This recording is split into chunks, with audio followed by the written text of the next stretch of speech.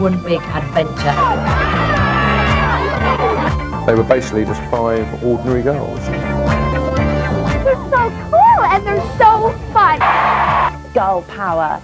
You know, they really do believe in it. They live it. They dress it. They are it. She's the best group in the world, I think, man. Yeah. I love them. When Pluto moved into Libra, we saw a change in the way relationships developed. And the Spice Girls epitomise this. They are people that want everything out in the open. And if as many people can join it, then that's excellent.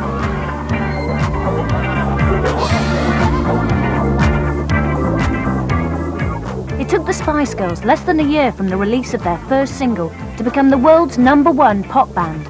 Victoria, Emma, Geri and the two Mels have become a huge phenomenon, taking their chart-topping songs worldwide and thrilling everyone with their sassy attitude.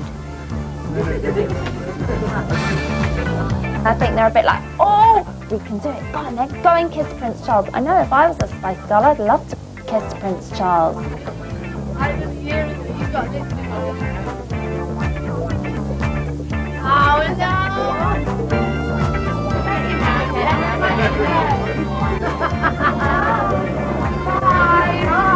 They've been given carte blanche to do whatever they want to do. At the end of the day, I mean, whether you're royalty, whether you're, you know, the bus The driver or the president, whatever. is human and everyone's affectionate. We treat everyone the same. That's our philosophy. No, No, I was, didn't. uh, Geri she's did. far too posh to pri- kiss the prince. He tried and I said, hang on a minute. We never claim to be perfect. We're not a stereotype, aesthetically beautiful girls. That proves to the girl out there you don't have to be like, you know, like skinny model in a magazine to be successful. You know, just make the best of what you, you've got, basically. Fun with a capital F is another essential part of the Spice success story. There was something special amongst these girls, just the, their presentation, their excitement, their enthusiasm uh, was just fun.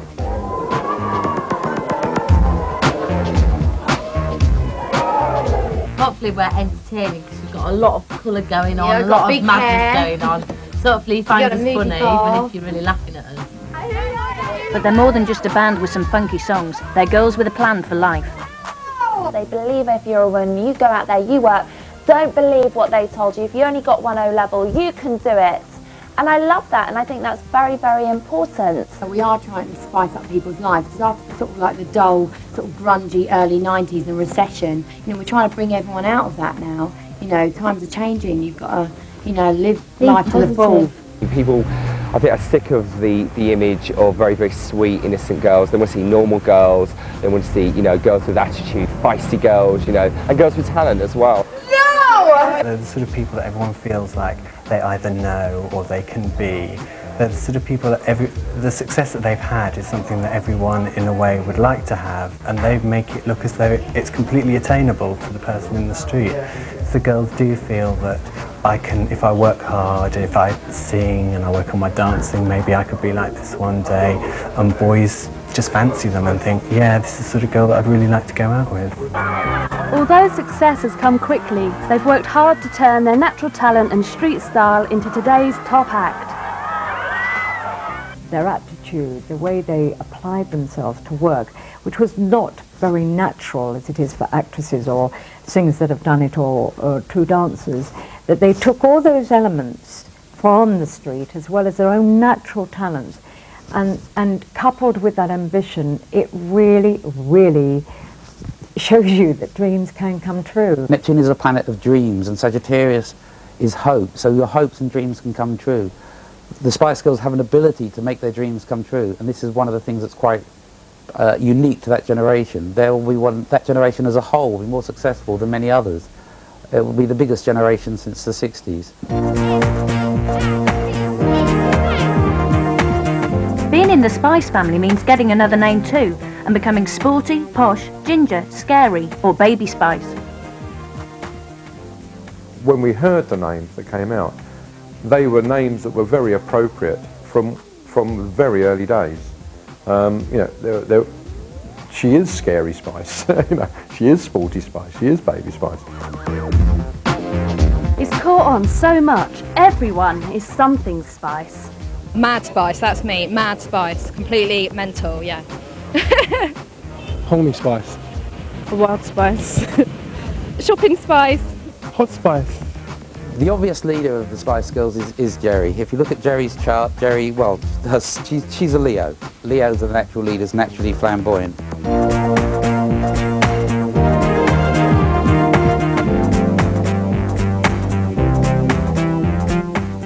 The inner side, the feminine side, the moon, is in Cancer. The feminine side is, is ruled by Cancer, which rules the breast. So, well, Geri and breasts, you, you don't have to go too much along that subject, but uh, uh, the connections are obvious. Ginger Spice is vamp completely. Her makeup is is vamp all the way. She does the eyes in full, the lips in full. Her sister actually designs her clothes for her. She is rather an eccentric dresser, um, but the the the, uh, the underlying tone is sex, sex, sex. Before she hit the big time, Geri was a game show hostess in Turkey, where she had to demonstrate to the contestants their prizes. Even in those early days, she was a glamour girl and wearing stilettos and sexy outfits. İşte Kelebek Mobilya'dan sallanır televizyon koltuğu. Oturun hem televizyon seyredin hem sallanın. Çok rahat, çok sağlam. She's not very good at backing down, and that's one of the reasons that makes her a winner. She'll, she'll push and push and push, and she won't take no for an answer. So in one sense, there's a little bit of, it's a little bit of, of the iron fist in the velvet glove. The girls first came together after auditioning for Chris Herbert, who had the idea of getting together a girl band to take on boy bands, like Take That.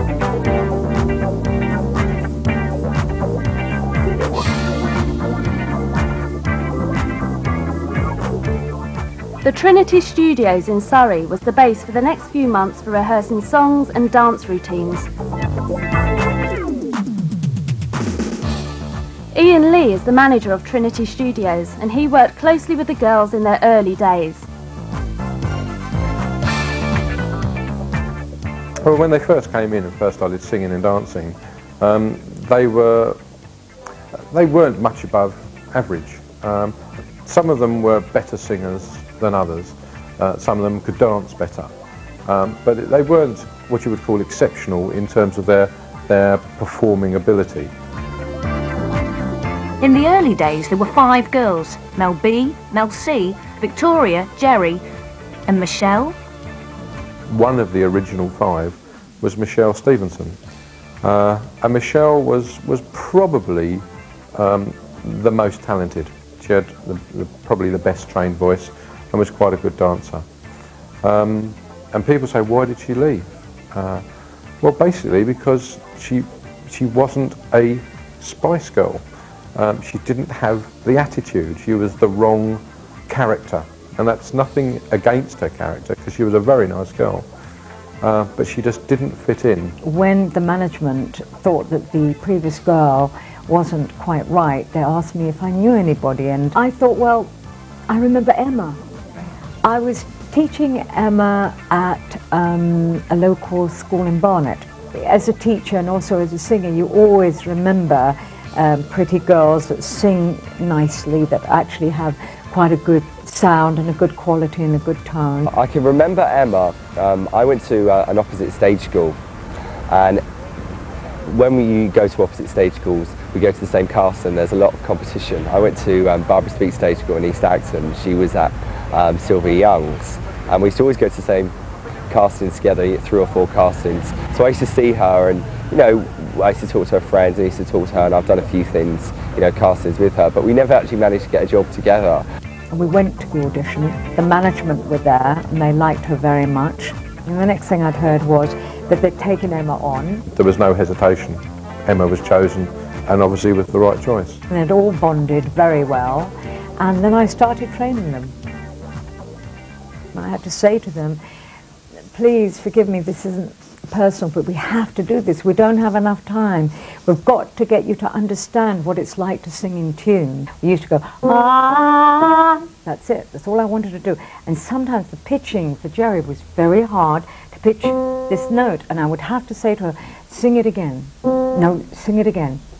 sing it again, and then maybe going up to the singing it again. Uh, for instance, that was hard for her, and yet when I taught her diaphragm breathing, it was fantastic for her. She literally pushed out, breathed in, big open mouth. That was easy.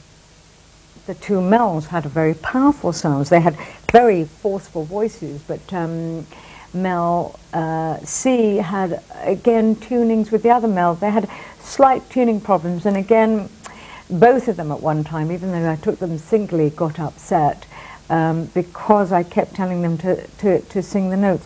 What they did have was a lot of um, determination, a lot of enthusiasm, a lot of um, fire to actually be successful. And it was that that made them good because they realised they had limitations and they worked hard in improving themselves.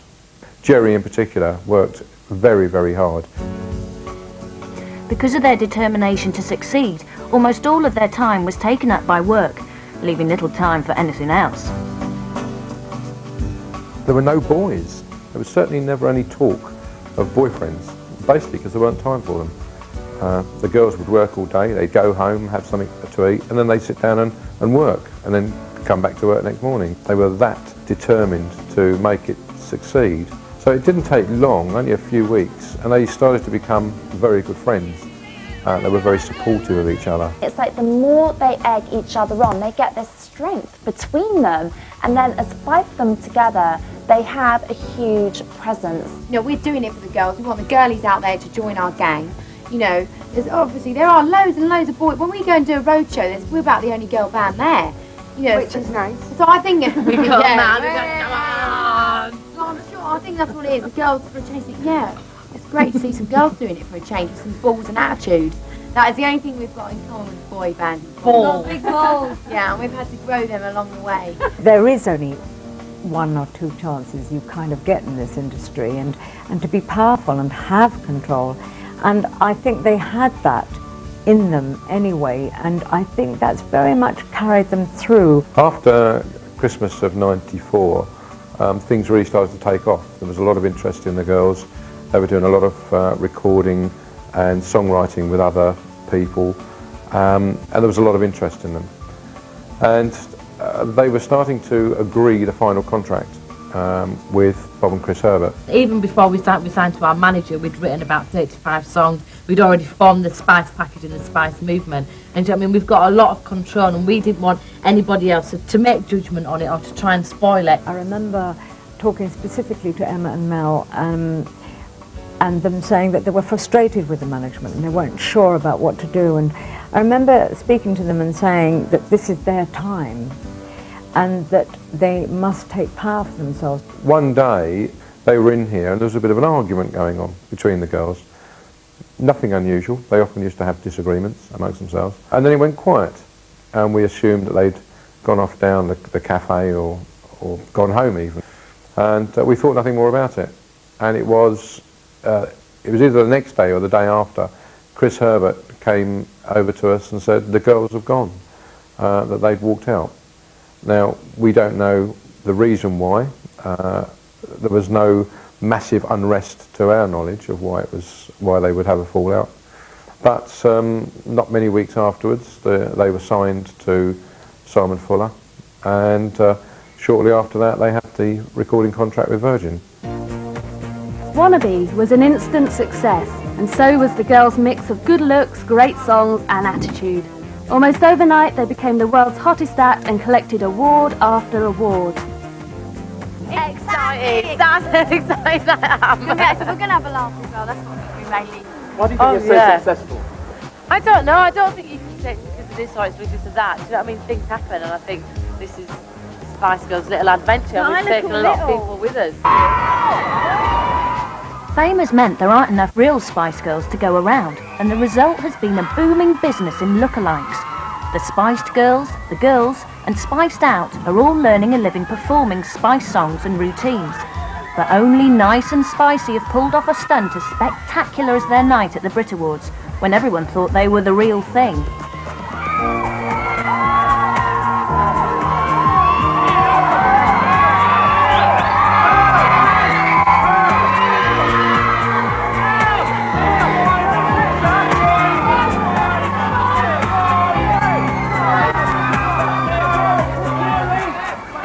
We were escorted all the way through, went through loads of press, everything like that, people screaming and shouting.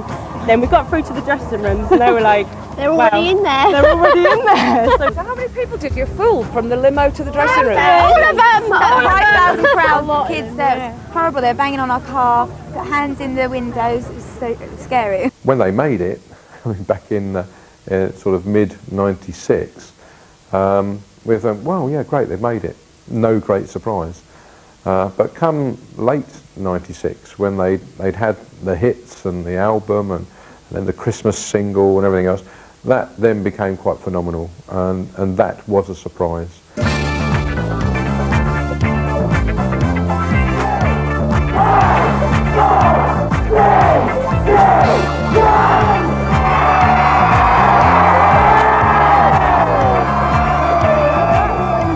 It's quite addictive we are so positive. Do you know what I mean? We do give off a positive vibe, and it is it is addictive to people. So if do you know what I mean, they me they, more, they give look a little bit deeper in our lyrics and where we're coming from, and realise what's going on. It's like wow, yeah, they're not just a pop group. They're not just up there looking all kind of bright and cheerful and what have mm. you. Scary Spice is totally outrageous.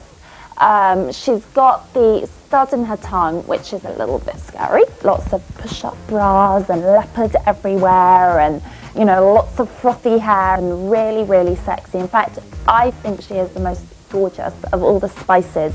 She wears a lot of trousers because she's always kicking up in the air, so I suppose that's very helpful. And she's a bit of a tomboy.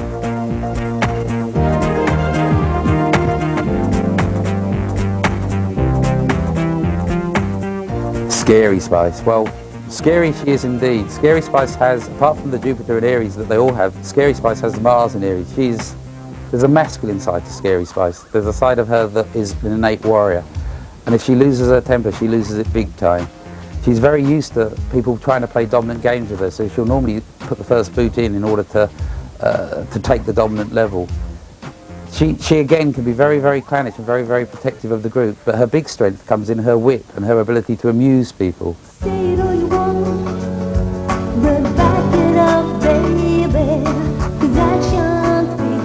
The USA is traditionally the hardest place for British acts to make it, but the Spice Girls took America by storm.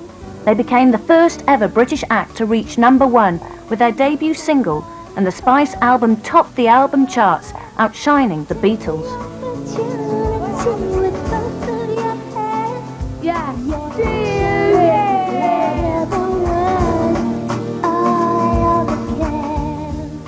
Now, anything that happens in London, America love. You can be a super fat model, they'll love you. You can create a pop band, you can be Stella McCartney, create a fashion line. Whatever you do in London is cool. And actually, they're being compared, believe it or not, to the Beatles. Um, their hits sold more copies than the Beatles. It rushed to number one. It was huge. We came over here with an attitude of we've got to start from square one. It's going to take a lot of work. Whereas I think a lot of bands come out here with a bit of an attitude of, you know, oh, we've been successful in Europe, so they don't have to work as hard. And I think we realised that we really had to start from, from scratch, really. This isn't luck. We've worked bloody hard. Well done, girls. I think Spice Girls always do things in their own way. You know, whether it means breaking records or history, that's. But we, we, don't- we don't set out to do that. That's part and parcel and what the public choose. The Spice Girls are about more than just music. They write best-selling books too. Yeah. Drop your hands a bit. Drop your hands a bit. That's good. Down here. Basically, it's like a documentary of us lot. It's like a scrapbook of, you know, what, what we get up to, what we like, what we do. And basically, it just shows, you know, how us five individuals operate as people as And well. it's the first official book as well. There's been lots of others, but this is the first official one that we've written. We collect pictures of, you know, wherever we've been in the world, and it's, you know, it's real from Yeah, us. these two mouths took all the pictures in actual fact.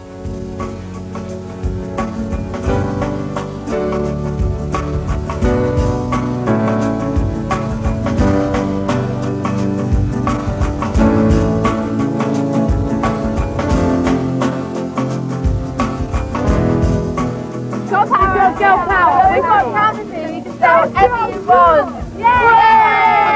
Let's present ourselves as, as, as we are. I think if people like that or want to look up to it or see us as role models, then that's That's excellent, you know. We, we, we, we like to think as a group and individually we give out positive messages and a positive way of living life. And do you ladies believe in girl power? Yes.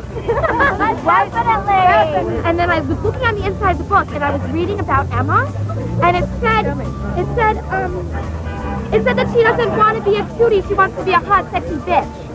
Oh, that's what it says there and that really disappointed me because I want to be a cutie and I don't want to be a hot, sexy bitch. Like, I don't know. I hope Emma will go back to the sweetie that she is. I love her. The Fab Five have a great relationship with the press. Unlike many other pop stars who attack paparazzi and complain of harassment, the Spices always seem to be smiling for the cameras. Smiling Spice Girls means good times for the press too, because Geri, Victoria, Emma, Mel C and Mel B are today's ultimate cover girls.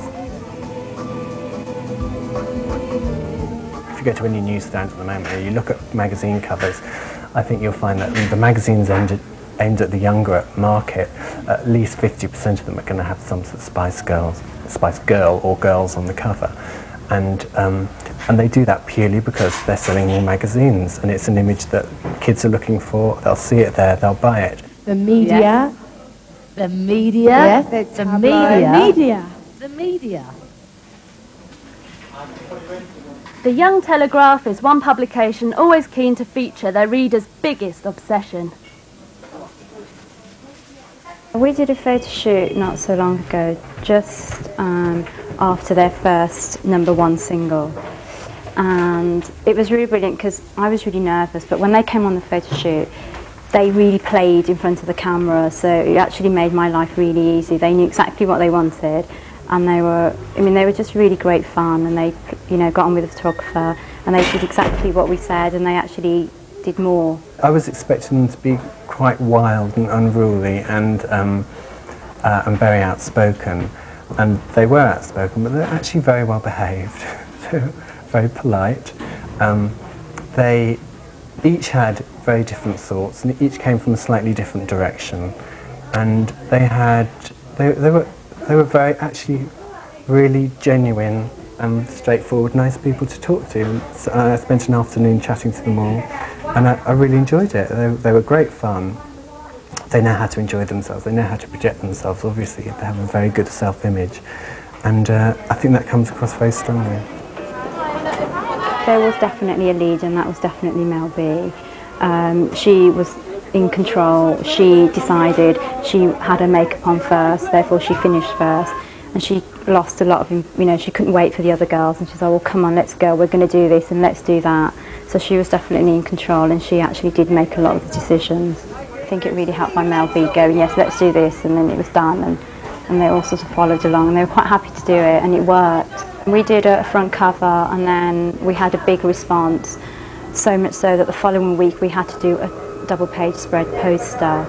Most of the response that we get in Young Telegraph to, young, to um, Spice Girls, it's just they want more. They want to, they want information all the time. They want to find out what the girls like, what they do, what they get up to in their spare time, what records they're working on, what their plans are for the future, are, when's the film coming out, who's going to be in the film. It's just, um, there's, there's a general interest really in everything they are and everything they do. My favourite Spice Girl is Posh Spice. Victoria, I like her because she's sexy, and even though she don't smile at her, still, I like her. Dead sexy. I love her. Posh Spice has got the sophisticated look. She wears the designer clothes. She wears um, Hervé Leger, Gucci, Prada. She's her, her hair and makeup's great. She's very, very simple. She just has a centre parting, dark, sophisticated hair. Um, and I think she's got she's, she's very slim and she, she looks very classy.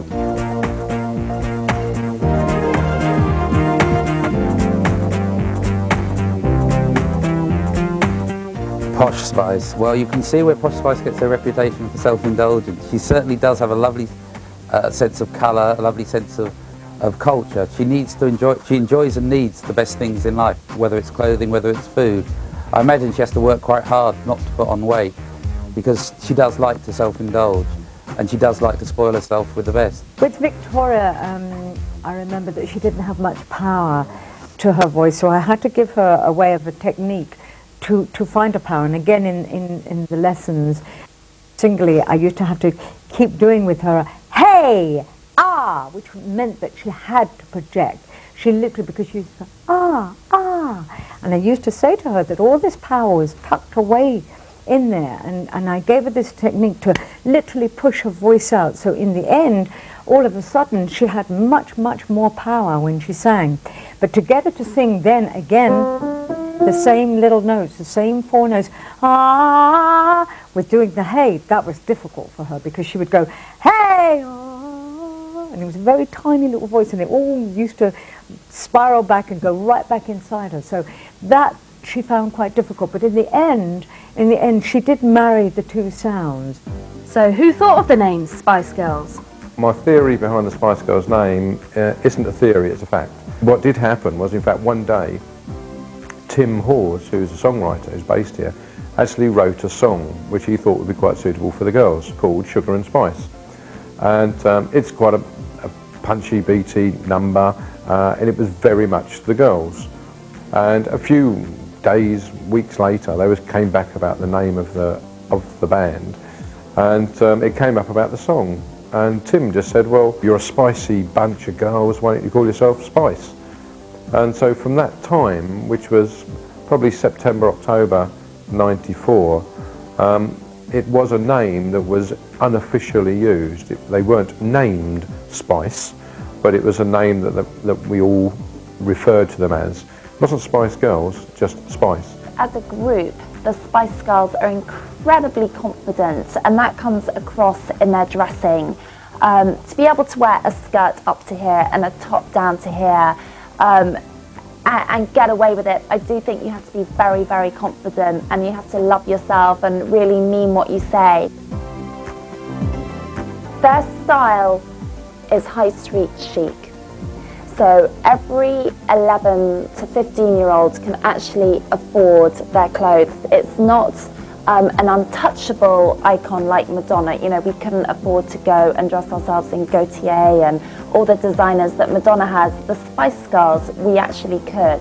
For instance, Baby Spice, um, her main designer is Miss Selfridge, which is incredibly affordable.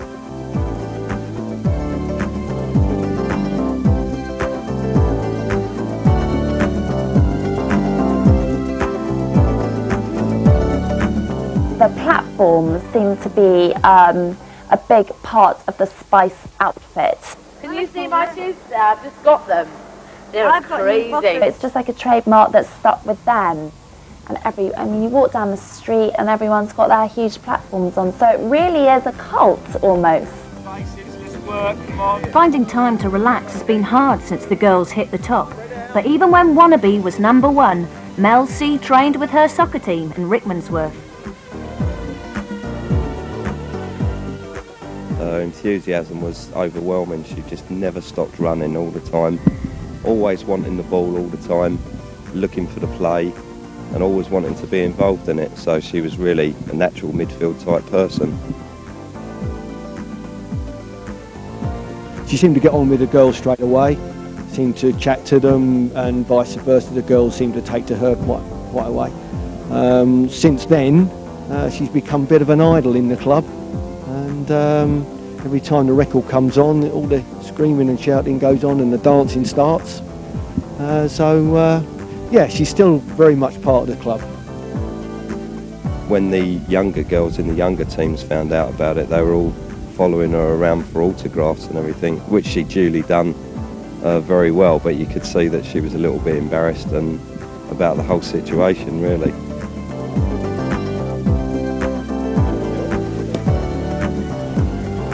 Sporty Spice has got over 100 tracksuits. She's very into Fila and uh, that's all she wears really. She's got a great body, she works out a lot um, and she's got a very natural look. She doesn't wear a lot of makeup, she's very athletic. Sporty Spice is a real mixture between the male and the female. She's almost like a female David Bowie.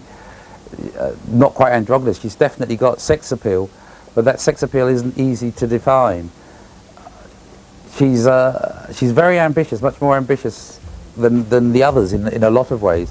She's a person who certainly wants to uh, to go on achieving throughout life. She may well stay in the industry for a long, long time.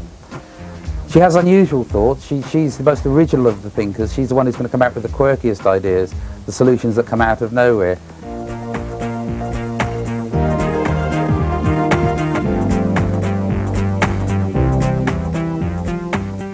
Creatively, she lacks a little bit of confidence. She's a bit hard on herself. So she'd find it hard as a solo uh, artist in the sense that she doesn't have, have the confidence to believe that what she's done is good enough. So she's the natural group member, but in that group, she, she, uh, she's like the quiet chairman. She won't actually raise a lot of voices, but at the end of the day, she'll make the decisive vote or she'll win people around. Love doesn't come easily to this one. She doesn't take relationships lightly, so she could well have many platonic relationships where she enjoys the friendship of people, but without actually getting too close. She's not easy to get to know at all. Um, she's always hiding a bit of herself or keeping a bit of herself in reserve. And, and the best comes out in the public. In one sense, she's a better party animal, and when the lights go out, so does she. Mousy, she's cool. Emma. She's cutest. The Spice Girls have achieved many fantastic things, but none more sensational than bringing road accident victim Robert Skeets back from the brink of death. There was a van coming up Burlington Road and Robert didn't see the van and went straight into it. The blood was pouring out and the neighbour took him to the hospital and then they put him on the life support machine for five days. He had to have brain surgery. There was a load of fragments of bone in the brain and I didn't think there was any hope for him. I gave up hope on the Tuesday when the doctors come around and said it was going to go either way with him. And then we started playing Spice Girls and he seemed to be moving his limbs. So we knew he wasn't brain dead or paralysed. So we knew he was going to come out of it somehow. What do you remember? The music? Yeah. What was it like? Come on. Pretty good. My favourite Spice was Baby Spice. My favourite Spice Girl is Emma. Um, I like the way she dresses. Um, she's just cute because she's the baby of the bunch, you know. You know, I, I dress similar to her. I mean, I like wearing baby doll dresses like her, and that. It's, really nice. As with Geri, Baby Spice has got a genius quality to her. There's an eccentricity to her that's quite remarkable. She has got a Marilyn Monroe quality to her. You know, in a, in a sense, life itself is, is one long sexual adventure.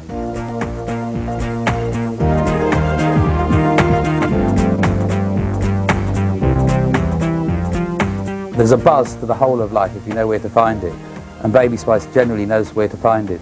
She's very, very ambitious as well, and very, very, uh, very, very keen to keep her youthfulness. So she could well go on being a Baby Spice for a long, long time. Baby Spice, to me, is like the most wonderful Samantha Fox I've ever seen. She's small, she's curvy, she's sexy, she's blonde, she's, she's puffy. Um, every single boy I know absolutely fancies Baby Spice rotten. Emma. Because she's got nice blonde hair. Nice, very nice indeed. I had a dream last night about, obviously, tonight's show. Um, the Spices were on, they sing out, Who Do You Think You Are?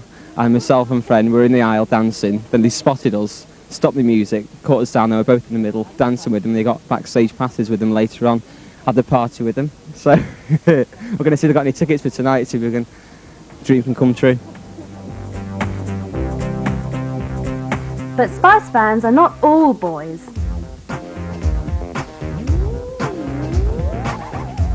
Mel B. Because she's, to me, she's, she's mad. And she reminds me of myself. I would say about 85% of our fan base is actually girls. Yeah.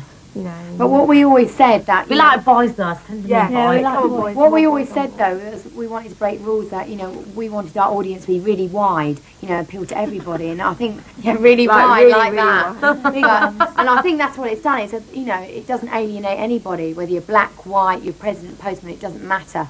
You know you can all nod your head to the same good groove. I don't really think that there's been anything like it since the 60s and the Beatles. I mean, we've had things like the Bay City Rollers came along in the 70s, everyone loved. We had the Osmonds and the Partridge Family and David Cassidy, and then we had the whole glam rock thing. And throughout um, the 80s, we've had various different bands that have made their mark. But I don't think that there's ever been a band that has actually appealed to the masses in the same way that the Spice Girls has. And I think it's um, it's unique really since, since the Beatles. I think the Beatles did do it, and they did it in, with great style, but no one has done it to such an extent since then.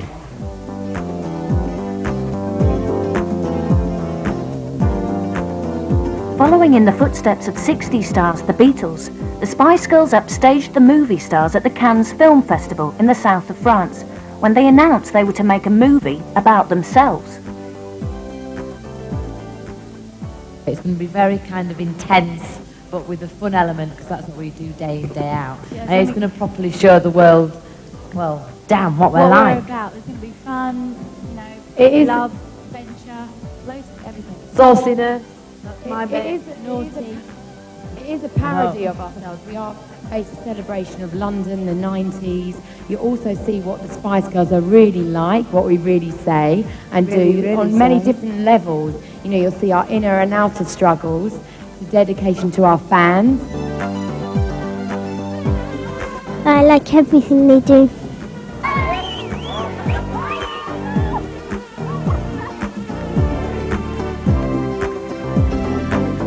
Thank you very much. We're very proud to be up here. Cheers. Yeah, thank you very much.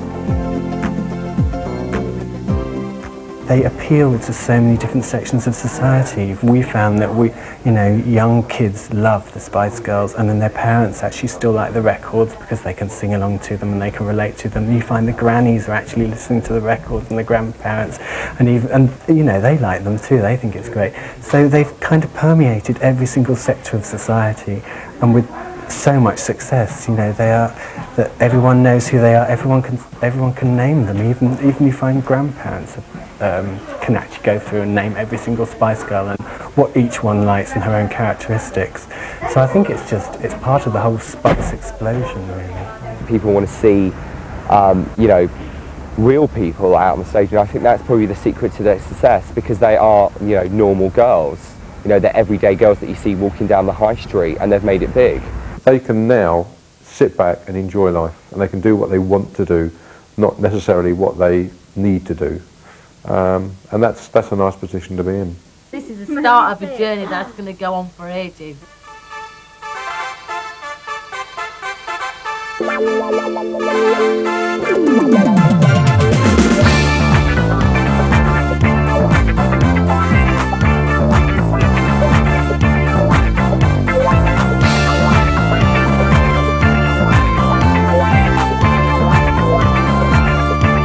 In a short time, these five girls have taken the world by storm. Records, books, and the movies have all been spiced.